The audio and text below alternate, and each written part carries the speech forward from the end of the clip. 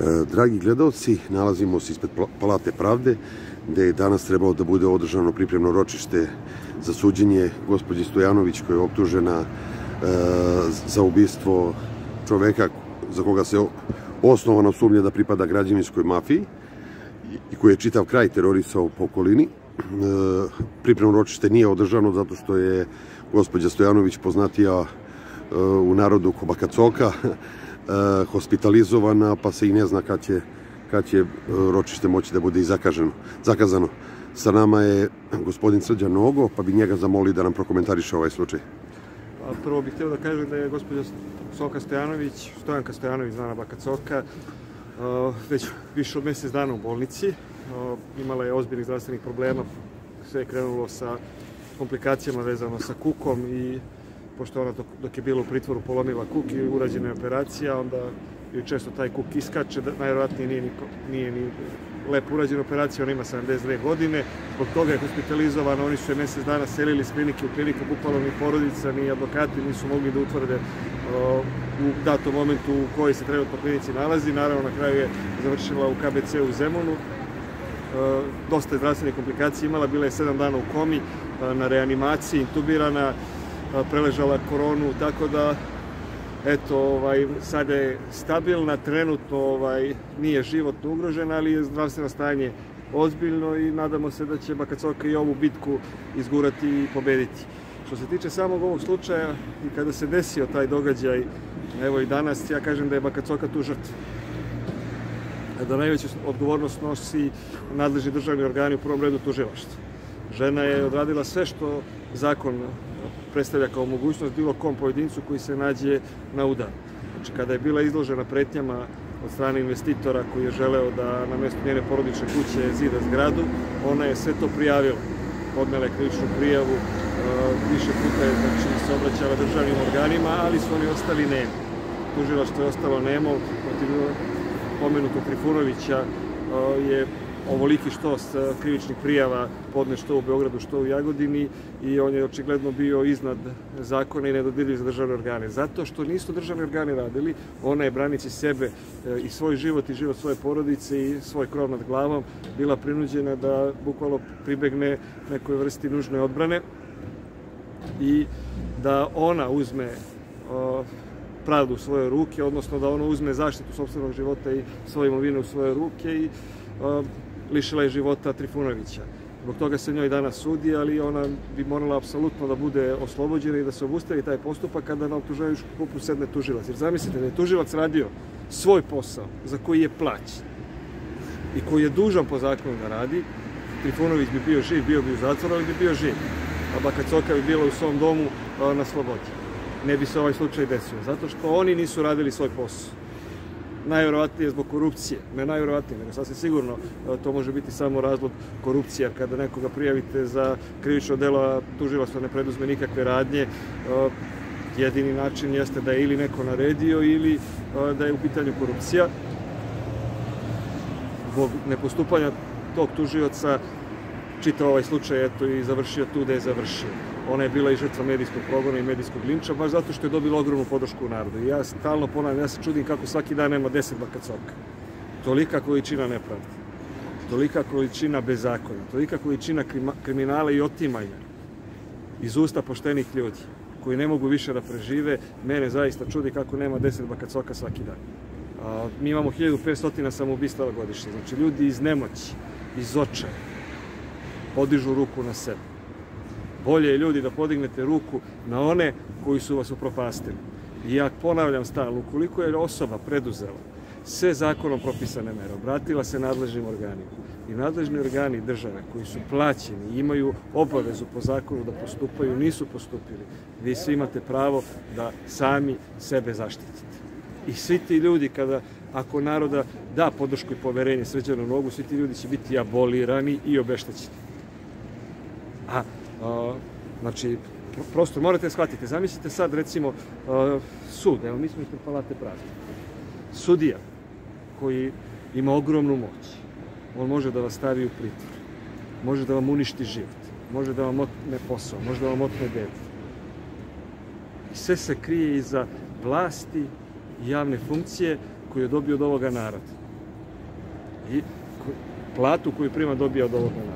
Sa tom moći on je opasniji i veći kriminalac od najvećeg narkodilera i uh, ubice koji postoji. U uličnom kriminalu.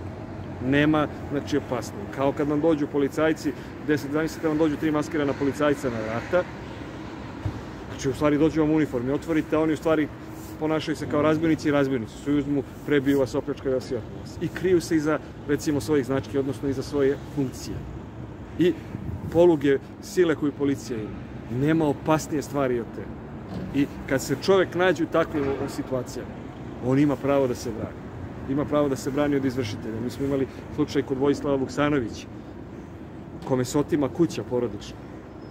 Znači, gde presuda suda se odnosi na jednu kuću koja ne postoji, ali javni izvršitelj Mirjana Dimitrijević, ona uzima ulogu suda.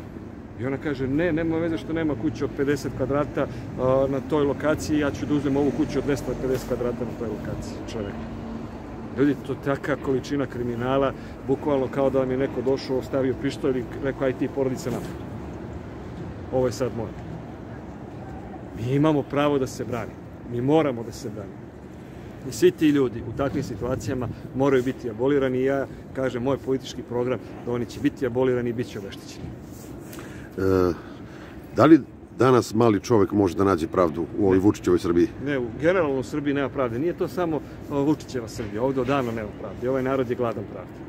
Znači, morate da shvatite, evo, sudija i tuživac. Jedno 2500 sudija i jedno 2000 tuživaca u Srbiji. 90% ljudi ne veruju u sudske odluke. Nema poverenja u pravosuđe. Pravosuđe ubedljivo najgore ocenjeni organ ili, ili ajde da kažemo, javna funkcija u državi.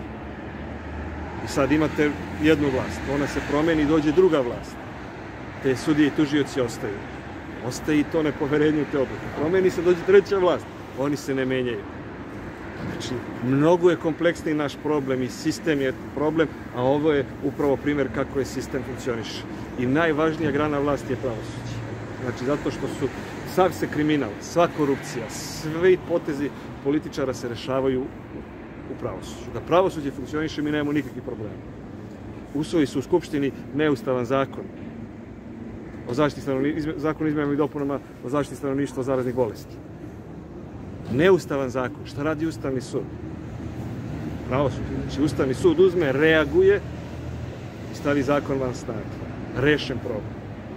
Imamo problem nacionalne izde. Izađe Aleksandar Vučić koji položi ruku na Miroslavoj evanđelji i ustavi zakunes. Izađe i kaže mi nemamo ni metar na Kosovo i Metohiji.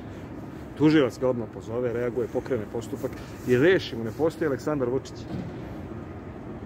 Znači, da radi pravosuđe svoj problem, mi ne bi imali problema. Znate, svi sad kukaju, evo vezano i za hajku koja se na mene podigla. Svi sad recimo kukaju kako prete ljudi po društvenim mrežama. Pa ne znam, gledam Dačića, gledam Vesića, gledam ljudi. Ti ljudi prvo nemaju realnog dodira sa narodom.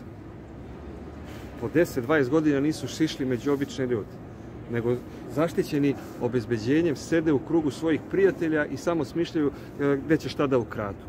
Nemaju svesti kakav problem imamo običan narod. Ja se čudim, ponavljam, nešto pišu to što pišu ljudi nego kako nema 10 bakacoka svaki dan. A da radi pravosuđe, ne bi bilo potrebe da bilo ko piše bilo kakve poruke na Facebooku, Twitteru i ostalo. Znači, to je ta suština.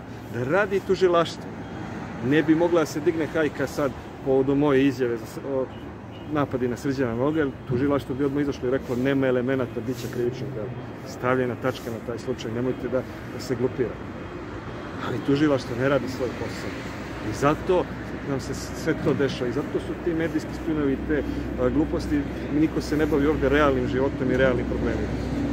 To je sva suština i sva problem, znate. A ja ne znam, evo, šta je sporno u izjavi Srđana Noga, ja nemam šta da dodam ili da oduzmem. Da li neko očekuje da treba neko da izađe i ga kaže ako izdaš Kosovo Vučiću dobit ćeš još jedan orden. Evo, Svetog Savu još jednog da ti damo. Još jedan orden da staviš na rever pa da šetaš sa dva ordena. Zato što si izdajnik. To je Lazareva kletva, mislim jasno. To je suludo. Ja mislim da se sve to baš sam i gostovao na KTV-u, bit će u subotu uveče u 8 časova emisija, da sam to pojašnjavao, ali evo, nisam to stigao da kažem. Ja mislim da se sve to desilo zbog vice koji sam upravo ispričao u toj emisiji. Jer Mujo iz Šipuljica zna da dolazi Haso da ga umlati Vesna. Eto, hvala vam svima.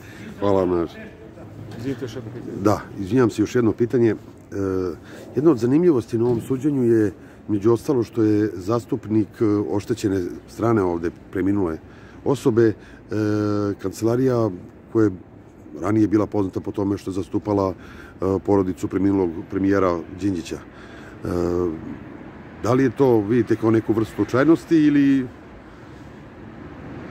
Advokat Slobodan Ružić je zastupnik e, oštećenih Trifunovića i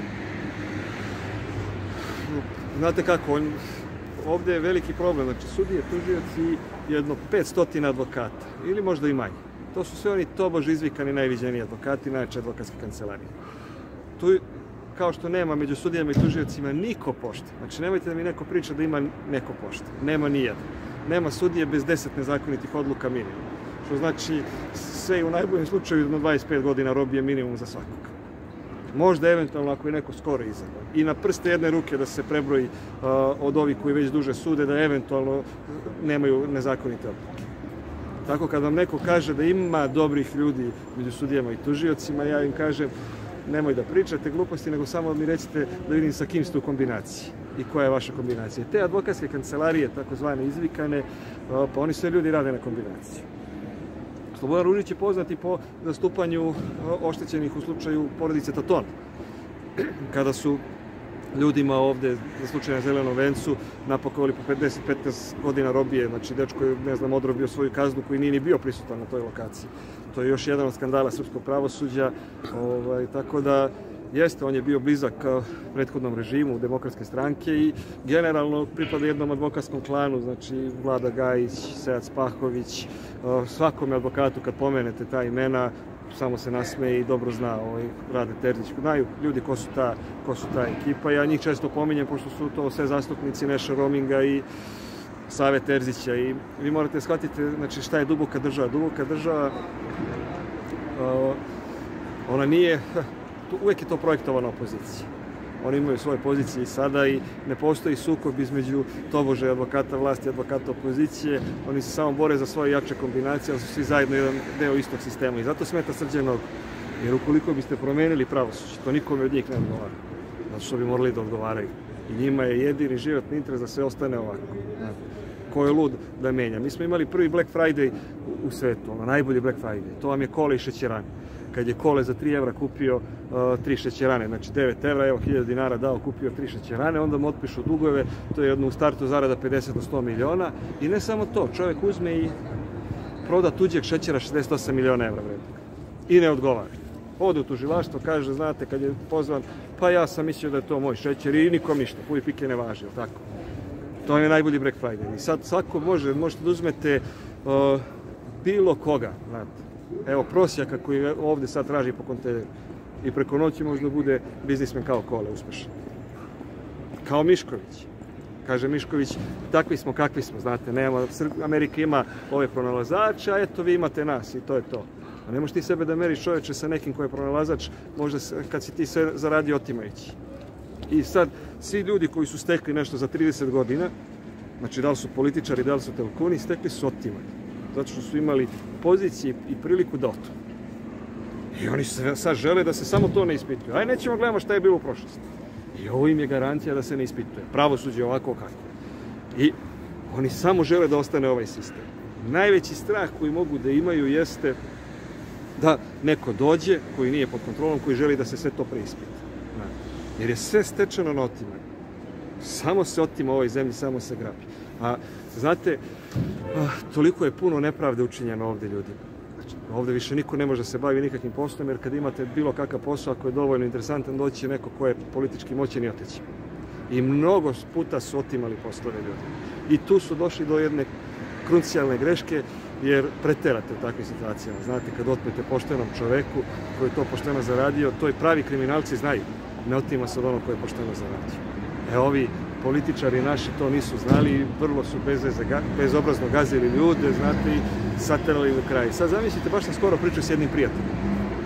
Zamislite, uh, koji je najopasniji neprijatelj? Onaj koji je najjači ili onaj koji je najpametniji?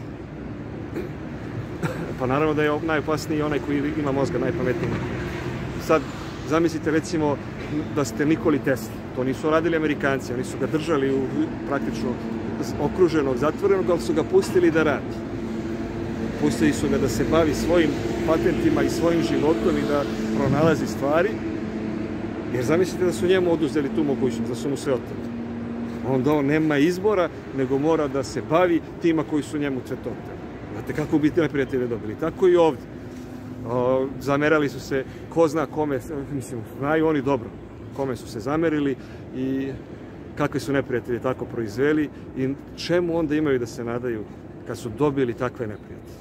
Svi ovi koji su na vlasti, to jako dobro znaju i Đilas, i Tadić, i Vučić, i svi od reda koji su ovde, ovde u zadnjih 20 godina uništavali ljudske živote. A mi smo svi krivi zato što smo čutali. Znate. Evo sad ovde ima i protest freelancera gore i uh, turističkih radnika. Uh, baš ćemo od palate otići da vidimo. Mi smo stalno čutali kad se nekome drugome dešava nepravda. Samo da ne dođe do mene. I onda sledeći put dođe na naša vrata, ali tad nema ko da ustane za nas. Mi, mi kao narod moramo da naučimo da više ne smemo dozvoliti. Čim prvi od nas, neki je najobičniji pojedinac, ima problem. Tad moramo da skočimo, da reagujemo, jer je to sve pomeranje granice i usvajanje nove prakse. Na kraju će doći i do nas na vrata taj problem. Znači, kad jedan ima problem, imamo svi problem. Zato smo sad ovako razjedinjeni i zato ne možemo ni jedan problem da rešimo. Znači, mi moramo sve naše probleme da se beremo na gomilu, da stavimo rešenja na papir, potpišemo izjavu kojom garantujemo način rešavanja, rokove rešavanja, to overimo i jedino tako rešavamo. I to je ta jedna reka koja će njih sve da oduva. Hvala vam, Grado. Hvala vam, najviše.